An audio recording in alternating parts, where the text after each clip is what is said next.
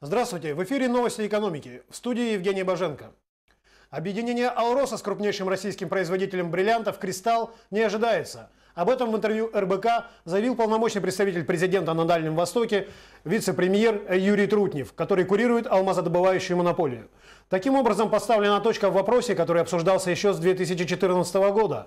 Напомним, что в правительстве России рассматривали варианты докапитализации Алросы через внесение в ее уставный капитал предприятия «Кристалла» или, наоборот, внесение активов Алросы в капитал Смоленской компании. Сейчас, по словам Трутнева, такие планы уже не обсуждаются. На сегодня в свободном обращении находится около 34% акций Алроса. Росимущество владеет 33%, 25% принадлежит Якутии и 8 районам республики, в которых происходит алмазодобыча. В Якутии сертификаты на жилье получили более тысячи молодых семей. На эти средства, на эти цели из средств федерального бюджета было направлено почти 360 миллионов рублей, из республиканского бюджета около 250 миллионов. Как сообщили в региональном Минстрое, 944 семьи уже решили свои жилищные проблемы, а остальные смогут реализовать сертификаты в течение 6 месяцев со дня их получения. В рамках данной подпрограммы э, первые 217 молодых семей э, смогли внести указанные средства в качестве первоначального взноса по ипотечному кредиту и частично погасили взятую ранее ипотеку и проценты по кредитам на покупку жилья. Центробанк намерен стимулировать банки кредитовать предприятия для развития бизнеса, а не для покупки или продажи компаний. Об этом заявила глава Центрального банка Эльвира Набиулина на заседании Президиума Госсовета. По ее словам, значительная часть банков а, дает кредиты в основном на финансирование сли, сли, слияния сделок и поглощения. Четыре банка выдали кредиты на 2,5 триллиона рублей для покупки или продажи компаний.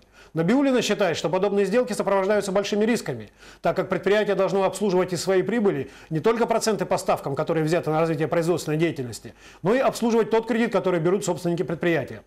Напомним, в прошлом году некоторым банкам пришлось увеличивать резервы на возможные потери по судам из-за новых требований для подтверждения качества заемщика иметь национальные рейтинги. Банкам, не имевшим рейтинга по национальной рейтинговой шкале, пришлось доначислять резервы в размере не менее 50%. В российском законодательстве появился такой институт, как синдицированный кредит. Это заем, предоставляемый юридическому лицу или индивидуальному предпринимателю двумя или более кредиторами в рамках единого кредитного соглашения. Закон о синдицированном кредите вступил в силу вчера. В частности, в законе установлены общие положения о договоре синдицированного кредита, а зафиксирован перечень лиц, которые могут быть кредиторами, а также отмечены особенности заключения договора и его основные условия. Созрело время, когда э, банки или кредитные организации, то есть те, кто имеет право предоставлять кредиты, сегодня действуют уже не каждый сам за себя, а уже готовы э, объединяться. Вот. И не один против всех, а уже начинают они делать какие-то совместные программы, будут делать. Вот синдицированный кредит – это есть объединенный кредит. Его предоставляет группа банков или кредитных организаций. Это может даже быть и не, не э, государственные пенсионные фонды. Вот, все, кто имеет право объединяются для того, чтобы разделить риски.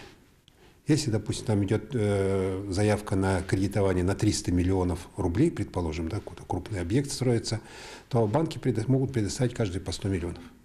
Риски потерять деньги у него снижаются в три раза. Один банк будет долго сомневаться, а может и вообще откажется от такого предложения, а три банка могут объединиться.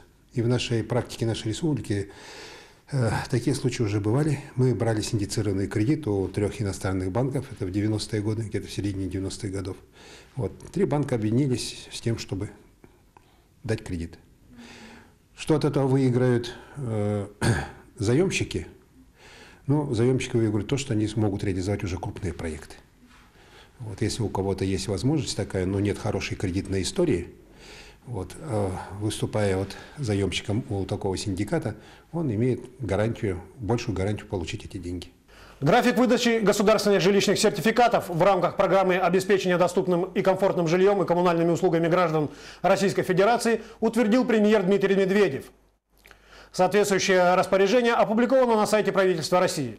В нынешнем году планируется выдать 7273 сертификата на сумму 14 миллиардов 870 миллионов рублей, в том числе гражданам, выезжающим из районов Крайнего Севера. Такова экономическая картина дня. Оставайтесь с нами на Якутия 24.